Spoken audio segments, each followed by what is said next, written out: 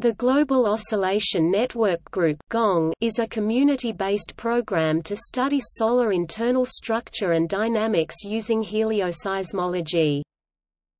Six solar observatories are involved, with the intention of achieving almost unbroken observation of the Sun.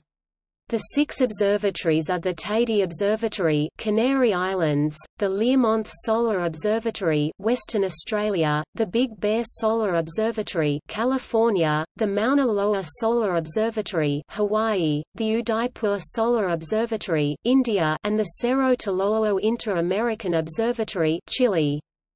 In 2001, the original gong detectors were upgraded to 1000 by 1000 pixels and continuous magnetograms were implemented, and the new system is known as Gong++. More recently c. 2010, improvements to GONG observatory instrumentation have been made to enable imaging of the H-alpha H-alpha spectral line of hydrogen in the solar atmosphere.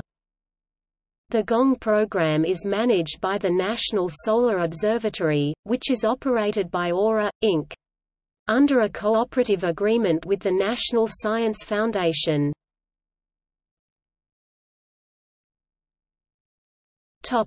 External links Gong info at the National Solar Observatory site